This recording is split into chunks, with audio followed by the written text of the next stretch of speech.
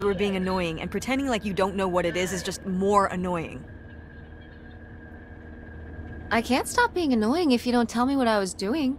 Yes, you can. I've seen you not be annoying before. When? Not any time recently, now that you mention it. Just cut it out, will you? Okay, fine.